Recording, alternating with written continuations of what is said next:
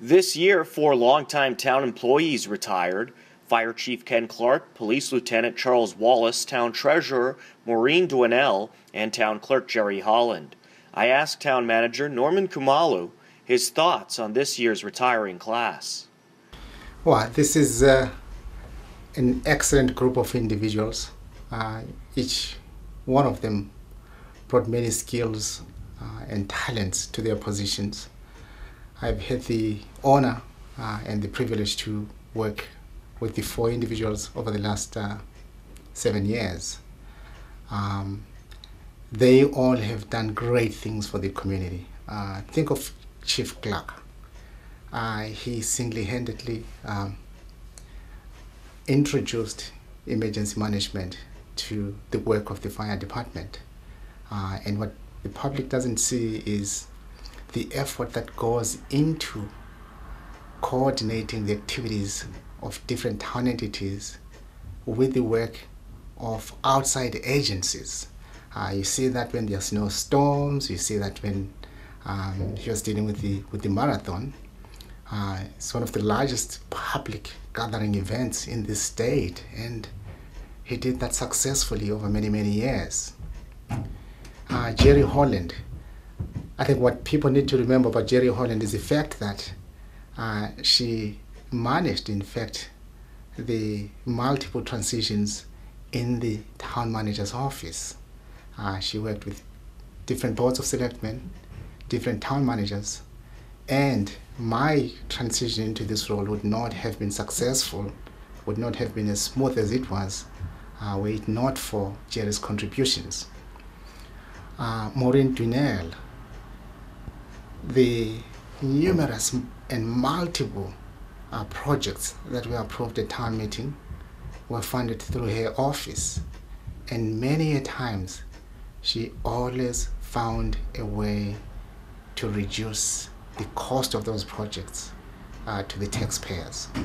I know usually credit goes to the project manager who's managing that particular project, but what I know here in the office is the work that Maureen did in coming up with the appropriate borrowing formula uh, that lessened or reduced the cost of the project tremendously, re resulting in multi-dollar um, savings for the community. Um, Chuck Wallace, what a wonderful gentleman.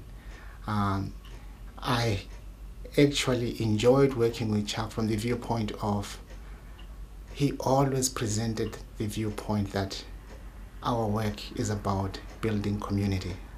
By way of example, all the meetings that Chuck attended after hours uh, were meetings that he himself was required to attend or his wife was required to attend. Chuck always was by his side. And I think that was a constant reminder uh, to all of us that um, families are important uh, and, and that we should always look for opportunities to strengthen family principles here at Town Hall as well as uh, in the work that we do. Um, again, it's great pleasure and, and privilege for me to work with this team.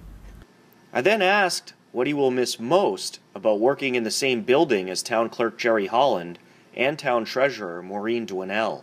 Or a personal issue, she always was there to offer her advice, and she did it in a very fair, impartial, and progressive manner. Uh, Jerry Holland, very kind.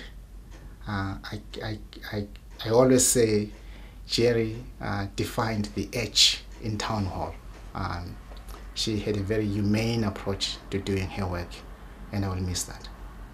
Recently, some residents discussed disagreement with the Board of Selectmen decision to make Deputy Chief Stephen Slaman the interim fire chief until March 31st and then consider if a further search process should be done prior to the March 31st date, I asked the town manager what the thought process was behind the decision. I think um, having been a member of the uh, pre-selection committee and also having been at the meetings, uh, my understanding is that the selectmen were looking for a process that would allow them to interview multiple candidates. Believe it or not, town election season and the annual town meeting are only about four months away. I asked the town manager about the annual town meeting calendar. Our annual town meeting is our Super Bowl, and so I, I, I felt that the selectmen last night uh, articulated to the public the key decision points leading to town meeting. Um, the discussion points were around giving the Board of Selectmen sufficient time to review the issues that will be presented eventually to, to town meeting. Um, they also wanted to uh, make sure that there is the appropriate collaboration and coordination with the school team. Uh, and um, from our perspective, I think we will now be working diligently to try and identify opportunities uh, for bringing the information regarding matters that will be brought forth to town meeting to the public early in the process.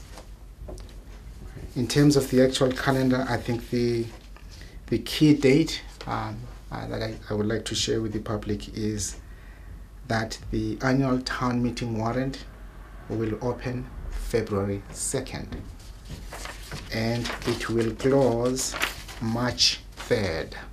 So the public will have at least a month uh, to think through the articles.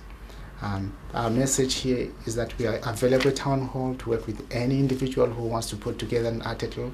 We'll provide our time, we'll provide town counsel resources, and we encourage the public to contact the town manager's office if they have any questions regarding the preparation of town meeting articles. You may be wondering what will be the major topics of discussion in upcoming selectmen meetings. Mr. Khumalo had a pretty straightforward answer. Yeah, I think it's going to be budget, budget, budget.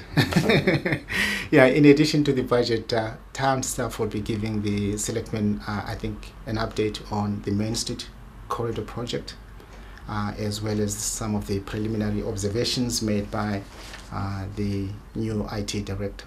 Uh, I think it's uh, it's time that we come back to the selectmen and give them an update from an um, an independent viewer as point of view. It's going to be a busy period for us. Um, we're ready for the challenge. I think we have the appropriate team to uh, get us to town meeting, and we're working hard to make sure that uh, this is going to be um, a smooth process for everybody.